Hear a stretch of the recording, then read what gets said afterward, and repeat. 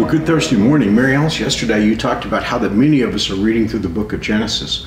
And Genesis, of course, holds a whole lot of history, at least 2,000 years. And so when we come to the book of Genesis, God is introducing himself more and more.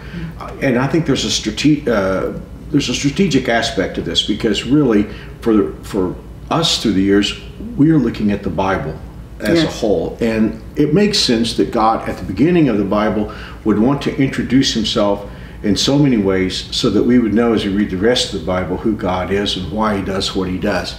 But this story is one of the most famous in the Bible, and it really does point, I believe, to the cross. It's a, it's a, it's a promise of a future fulfillment that God will fulfill for us uh, and for the whole world on a mountain called Calvary. Um, so, Mary Alice, uh, would you take just a few moments to talk to us about the name Jehovah Jireh and the story that's attached to it? Yes, so it kind of goes forward from yesterday. We're in Genesis 16, so this is Genesis 22, and again, we get introduced to Abraham in Genesis 12. So this is all part of his story. But um, after um, after it looked like it was hopeless for quite some time for Abraham and Sarah to have a child, then uh, God did give him a son, Isaac, the son of promise, and uh, it was clear to Abraham and Sarah that this was a miraculous birth and that this was uh, the one through whom God was going to uh, answer uh, and complete His promise. And so it was it was quite uh, shocking when God told Abraham, "I want you to take your only son Isaac and sacrifice him." Uh, which I want to be quick to point out, God has never asked for human sacrifice. No, nor was he really asking for it there. Right. It was God was going to teach Abraham something here. And I think also God wanted to paint a picture of what he was going to Yes, do. absolutely. And we, of course, we can't get into Abraham's mind and heart here, but we do know that he gave an answer that speaks to what we're talking about Well, today. we do read in the New Testament that Abraham believed that even if Abraham Isaac was sacrificed, that God would raise him from the dead because he knew that God had made a promise that you know it was through Isaac that all all the world would be and blessed. he told his servant, you know, my son and I are going to go up the mountain, but my son and I are going to come back. That's So- right. If you look at that language, and, and you know, yesterday it was a weak moment for Abraham Yes. that we looked at. This is a very strong moment. You can see his faith growing. Yes. And so he had faith that God was going to complete his promise, but in his faith, he was also obedient. And that's what we see here. But um, so if you go to Genesis 22, and we're going to jump in just to give you where this particular name is brought up in verse 8. And this is um, this is an exchange between Abraham and his son Isaac, who is part of this equation. He's going up the mountain with his father, and he's like, "I don't see where's the sheep." And so um, Abraham responds to Isaac and says, God will provide a sheep for the burnt offering, my son. Abraham answered, and they both walked on together. So um, God will provide Jehovah Jireh. Yeah. Well, and indeed God did because Yes. he fastened Isaac to the altar and, you know, was about to do whatever it was that he was going to do. And then God stopped him in the middle of this and said, Abraham, stay your hand. There is a ram caught in a thicket. And so I think in the fastest physical action of all time, Abraham untied Isaac and then it got the uh, got the, the lamb that was caught in the thicket and sacrificed it in Isaac's place. And, and we really do believe that this is a picture Yes. of Calvary because then there would not be Right. a, a substitute. Jesus was the lamb, and God did give his son, his only son, his son of promise, Yes. uh, Jesus. And, and it is interesting. I, I know that I grew up memorizing in a different translation where it says God will provide himself, Himself a lamb, yes. And, and so through the years, scholars have looked at that and said, was God saying, it was Abraham saying, God will provide of himself a lamb, which Mm-hmm. he did in Jesus.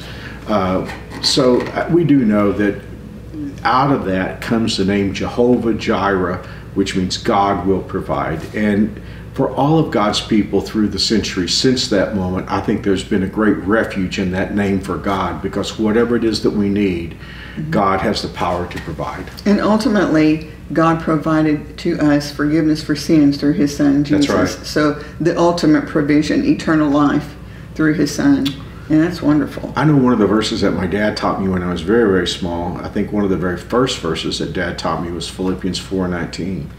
And that verse says, "But my God shall supply all your needs according to his riches in Christ Jesus. And you know, Dad would tell me when I was small, son, you're going to have situations in your life when you don't know how you're going to have what you need to have, but Jehovah Jireh, God will provide.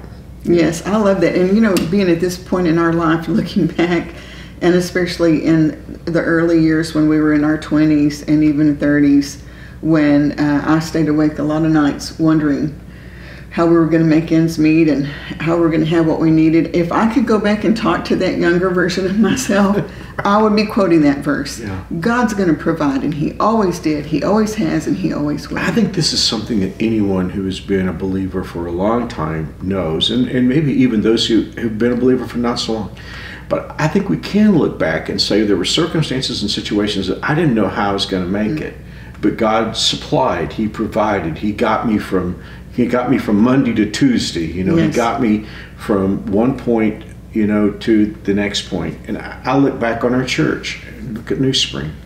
Uh, it's a miraculous story, as you well know. Mm-hmm. I mean, there have been so many times when I had no idea how we were going to make it, and then God has supplied. I mean, you mentioned Jehovah Jireh before while the cameras were still off, and I couldn't help but think about the land that our church mm. is on. Mm. And you were there. Yes. You lived it with me uh, for so long. We just, it was impossible, it was impossible, it was impossible, and boom, miracle. yes, Yeah. which goes back to God's timing is God's always time. perfect. But we can testify that Jehovah Yes. Jireh is true. And, and I, I pray that this will become one of your favorite names for God. Yes, I love it. And I'm going to try to remember to post a link to a song below that we love. Well, if we don't post it today, we definitely should post Tomorrow, it tomorrow. yes, more than enough, Because yes. tomorrow is a, a name that's very similar to Jehovah Jireh. God will provide, but it's it's a very special name. So it, it- stay with us uh, this week and come back tomorrow because tomorrow's one of my favorite all-time names. And and this has been an interesting Noah's window sequence because in in worship last week in our, at New Spring, it was like God put a new series on my heart, and I've been preaching it to you. Yes, I, I love the previews. on the names of God, and uh, maybe we'll unpack that in in uh, in days to come. But until then, Mary Alice, would you pray for us? Yes, let's pray. Oh, Father, we're so thankful that you are able to provide all of our needs. And I know that those who are watching or listening, all of us have needs even for today.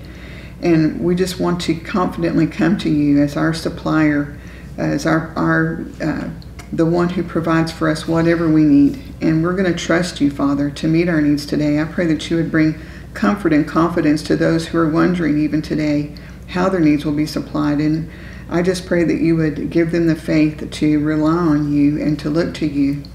I just pray that you put a special blessing on each and every one watching and listening, that you draw them close into your presence. May they know your presence and feel your love around them. And we'll be careful to give you the glory and the honor and the praise. And we ask this in Jesus' name. Amen. Amen. Well, thank you for joining us today on Noah's Window. We're going to invite you back tomorrow for the last day of this week uh, where we talk about the names of God. And uh, I know it's going to be a special day, so we're looking forward to seeing you tomorrow. Yes, we love you guys. We'll see you tomorrow. God bless.